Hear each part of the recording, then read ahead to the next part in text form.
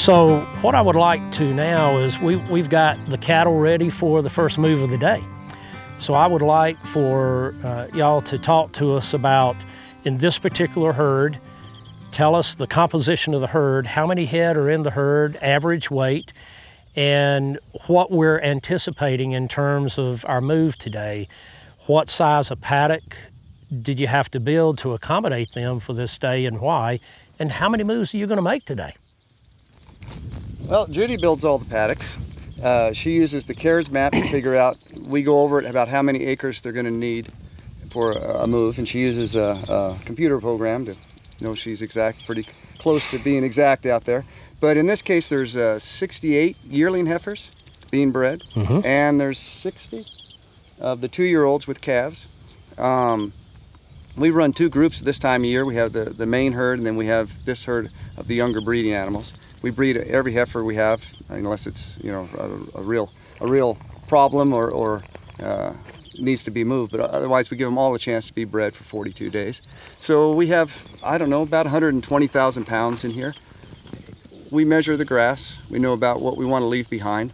That's the first day. We don't measure the grass every day. We just once we make that first move, we have a good idea of what we need to do yes. the next day. Um, but Judy will set it up. In this case, we're moving them twice a day, uh, and they're going to be, you know, that's going to be what an acre and a half because there's a three-acre total here of what they'll have for the day, and uh, she moves them um, morning and evening. And when it's really hot, we come out in the afternoons and move them a little earlier because they forget it's hot when they have new grass to go to. So what are your considerations when you're when you're thinking about meeting their daily forage dry matter needs? What are the things that you're thinking about and, and what do you measure out here to determine how big to build that paddock? Well, you know, it does depend on the growth of the mm-hmm. plants, what they're looking like, how much they're going to eat, uh, if it's gotten away, if it's a lot much taller, and how much we're going to trample, how much we're going to graze, and how much we're going to leave. So when we're grazing really tall stuff, we'll say like we'll be grazing maybe 40%, 30%. We'll trample 30% and we'll leave 30% and move on, especially in early, early spring when we're moving them rather quickly. Excellent. So I see you're carrying a stick there. Use that stick to measure the average forage height? Yeah, I always lose my grazer stick or I give it away, so I make my own. Yep. And uh, all this one has on it, you know, because we've been doing this long enough, uh, Every six, every three inches. That's yeah, every three inches, and we stick it in and just multiply, you know, that by about 300 pounds. If it's thin, it's like droughty like it is now, might be 250, and we figure the weight in here, which is about 120,000 pounds. I usually go with three percent of their body weight. Yep. So we look, we need 3,600 pounds today.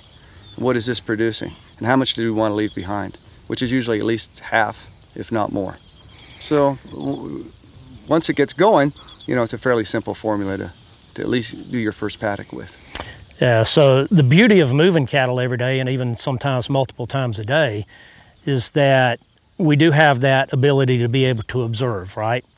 And if we made a mistake that day, say the cattle took too much, right? We didn't get the type of trample effect we were after or manure and urine coverage that we were after, then it's pretty simple to correct it the very next day. Or if you're moving twice a day, as you are right now, you can judge what happens in the very first paddock of the day and the second paddock of the day, you can correct any mistakes that you made. So you can automatically and immediately adjust the size of those paddocks. So the beautiful thing about adaptive grazing, and, and you said earlier that you also call it flex grazing, and by the way, so do I. Oh. Uh, so we, we call it adaptive or flex grazing. So your terminology, I think, is dead on and and it is the words mean exactly what we think they mean. You know, we've got to be flexible, we've got to be adaptive. So that's what we're able to do by moving cattle at least once a day and sometimes multiple times a day, right? Mm-hmm. We can easily adjust to whatever our eyes are telling us and whatever the cattle are telling us and whatever the conditions on the ground are telling us and immediately correct our mistakes. And, and the beauty of that is versus more conventional grazing, is that with conventional grazing, we often don't notice mistakes until we're well into our grazing oh, season. Oh, yeah.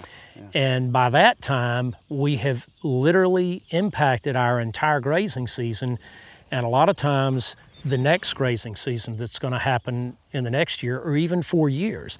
So we can have in grazing season impact, years and even years long impact if we make the wrong decisions under more conventional or set stock grazing. But with this type of grazing, the beautiful part of this is that every mistake we make is a very small incremental mistake that we can immediately correct. And if I'm going to make a mistake, I don't know about y'all, but I'd rather make one that I can correct pretty quick, right? right? Let's talk about the cattle now and what you're getting ready to do, Judy. So, we've we've talked about the number of head. That are out here and the classes of cattle that are represented. You you again, you've got an average from your calculations of available forage dry matter per acre.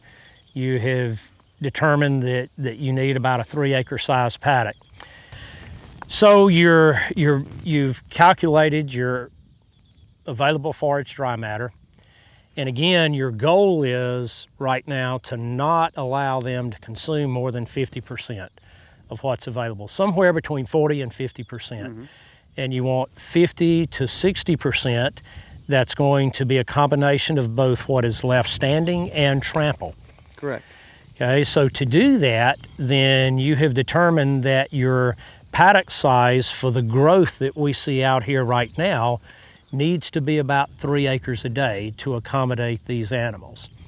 But you're moving them twice a day. So you're splitting each paddock into one and a half acres. Now you have a total of 120,000 pounds of cattle out here. So if we're putting them on one and a half acres for a portion of the day, the second one and a half acres for the next portion of the day, that's 120,000 divided by 1.5 acres, right? Yeah. So we've got an effective stock density per acre of 80,000 pounds per acre. Now let me ask you this question. You know, stock densities under adaptive or flex grazing, we can purposefully vary those, right? And oftentimes we want to, mm-hmm. depending on our goals and objectives. So we can go much lower or we can go much, much higher on stock density and then anywhere in between. But if we make this relative to the average grazing farm here in Missouri that is grazing conventionally, their annual stock density per acre is going to be no more than 500 pounds. Really? Hmm. So if we think about that, and you're at 80,000 pounds per acre, and their effective stock density per acre on an annual basis is only 500 pounds, then that's an exponential difference, isn't it? It is. As far as our stocking rates and the change over the years or over the seasons, when we're calving, we move quickly because we're calving in the middle of April and into May. Grass is growing extremely quickly. Uh, so what we're looking to do is cover as much ground as we can, but you got baby calves and uh, you know cows are calving. They want to find their. We like to have them isolate themselves. So we move the fence forward.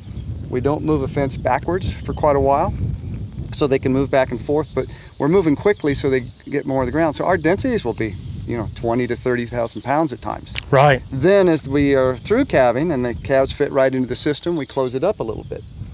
And then after we pull the bulls out, we get a little more dense.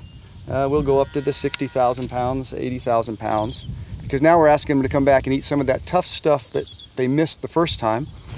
As we come into the fall season, we're slowing down that rotation so that we uh, allow the grass to start growing, get ahead of it for going into the fall and winter.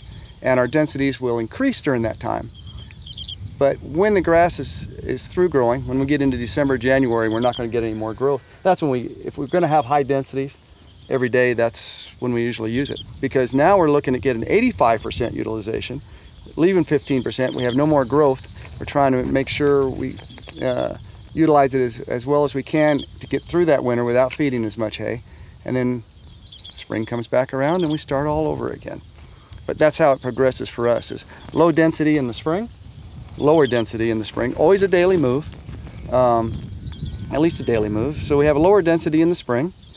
We get a little more dense if we pull the bulls out, combine the herds together. Yep. And then as we get into the winter period, when the grass quits growing, we get higher density because we're looking for a lot higher utilization.